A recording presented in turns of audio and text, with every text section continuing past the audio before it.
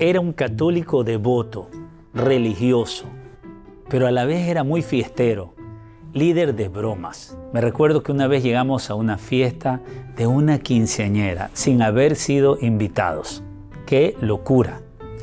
No nos querían dejar entrar y yo le dije a mis amigos, no, aquí vamos a entrar y como invitados especiales investigué el nombre de la quinceañera y desde afuera le grité con el nombre y le dije, aquí estamos, ya finalmente he llegado a tu invitación. Y me dejaron pasar. Y cuando entré, armé una, una poesía para la quinceañera con su nombre. Y eso me permitió que me llamen al lado de ella y del discurso de bienvenida a todos los invitados.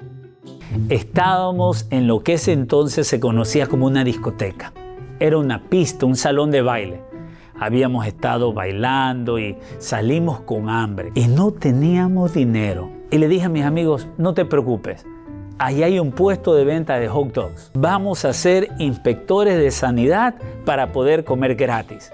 Y ellos inmediatamente dijeron, una muy buena idea.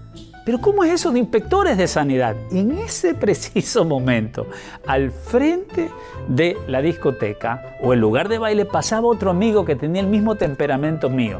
Y le pego un grito de tal manera que me escuche el dueño del lugar de venta de hot dogs. Le digo, ¡Hey, inspector! Aquí estamos, la cuadrilla de inspección, venga pronto.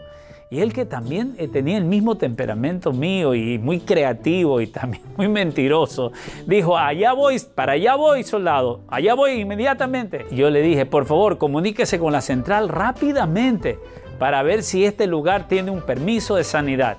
Y él cogió, él cogió la cabeza de la palanca de cambios de la transmisión del carro y hacía como que hablaba con la central. Y en ese mismo momento me acerco al dueño de los hot dogs y le digo, ¿cómo estamos nosotros con los hot dogs? ¿Están siendo eh, realizados de manera apropiada? Y él me dijo, por favor, pruebe por usted mismo. Y nos dio hot dogs a comer a mí y a todos mis amigos. Finalmente terminamos comiendo hot dogs gratis. Pero en el fondo de todo había un vacío. Tenía yo que descubrir algo. Una noche tuve un sueño que entraba a una casa con un techo inclinado. Y unos meses después conocí a quien es mi actual esposa, Adi. Y la conocí en el colegio. Y cuando visito su casa por primera vez, era la casa del techo inclinado. No era coincidencia. Nos conocimos, nos enamoramos, fuimos novios por siete años. Ella me contaba de que de pequeña había conocido a Dios, pero estaba apartada de Dios. Y yo era católico. Me confesaba con el cura de al frente de su casa. Y luego ella me decía, pero ¿por qué te confiesas con él? Porque él es amigo de mi papá y a veces hasta se toman una cerveza juntos. Y yo decía, ¿qué es esta locura? Pero yo me mantenía aferrado a la tradición religiosa. Pero ella siempre me decía que de pequeña ella había conocido a Dios. Pero seguimos nuestra relación, fuimos novios por siete años. Una relación tormentosa, una antesala del infierno. Peleábamos todos los días. Me acuerdo que un día peleamos tanto y ella cogió y se fue con su mamá al servicio del templo en la noche. Y yo, eh, molesto, seguí, me investigué dónde estaba y me fui a la iglesia donde ella estaba. Y cuando yo entro, el pastor estaba predicando sobre la ira, el coraje. Y cuando entro, encima me puse más molesto porque decía, ¿cómo es posible que él, sepa mi vida personal y cómo es mi relación con mi novia? Después de siete años de infierno nos casamos finalmente y a los seis meses no nos aguantábamos, nos queríamos divorciar. Una cosa tremenda, disfuncional, no había manera de empatarlo. Y fue así como nos separamos, buscando respuestas, buscando salidas geográficas. Pero esa salida geográfica ayudó a mi esposa a reencontrarse con el Dios de su infancia. Y regresó a los caminos del Señor, estando miles de kilómetros lejos de donde yo estaba. Y en ese mismo momento que ella regresaba a ese Dios de amor, que la recogió con manos de amor y ella se arrepintió de haberlo abandonado de su infancia. En ese mismo tiempo, yo llegaba una noche a mi cuarto y me sentía muy triste porque sentía que tenía estudios con honores, éxito intelectual, pero no podía ser feliz. No podía ser feliz con la mujer que, con la cual me había casado. Es así como vi a mi alrededor, ya teníamos mi primer hijo, y decía, para esto me preparé intelectualmente, comencé a llorar de corazón, lloraba con autocompasión, y me acuerdo que pronuncié estas palabras. Si hay un Dios que me escucha, pido ayuda. Yo pensaba, debido a mi eh, tradición religiosa, que Dios no me iba a hablar, que Dios estaba muy lejano, que qué era eso de que Dios habla. Él estaba en el cielo, yo estaba en la tierra.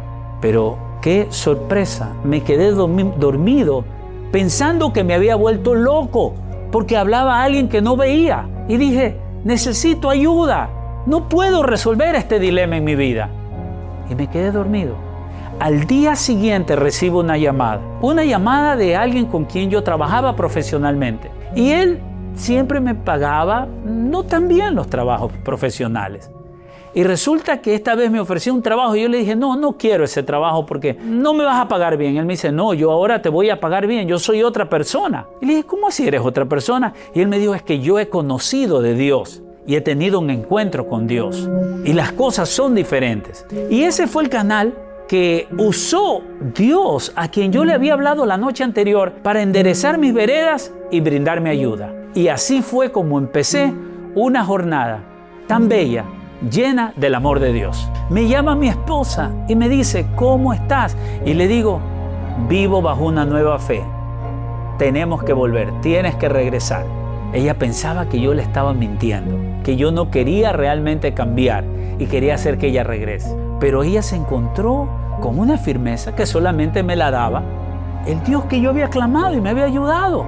Porque las cosas comenzaron a cambiar, comencé a tener trabajo, comencé a sentirme con mucha paz y fe, fe de que las cosas iban bien, fe de que iba a poder tener un departamento para mi esposa cuando ella regrese. Tienes que venir, tengo una nueva fe. Esas fueron mis palabras.